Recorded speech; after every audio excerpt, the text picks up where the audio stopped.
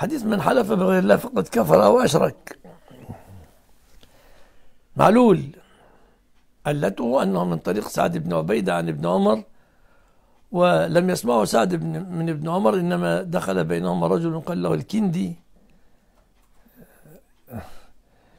ذهب وأبلغ سعد بن عبيدة أن أن ابن عمر قال ذلك وليس هذا الكندي بمعلوم بل رجل مجهول.